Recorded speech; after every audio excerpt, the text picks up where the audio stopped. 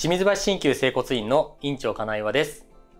整骨院では保険適用ができるのかどうか説明させていただきます。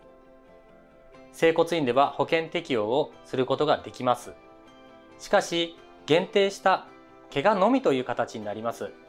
怪我というのはいつどこでどのようにして痛めたのか、それが具体的にわかるものに限ります。特に2週間以内の怪我というふうに限定されます。それ以外は慢性的な疾患という扱いになりまして保険適用することはできません。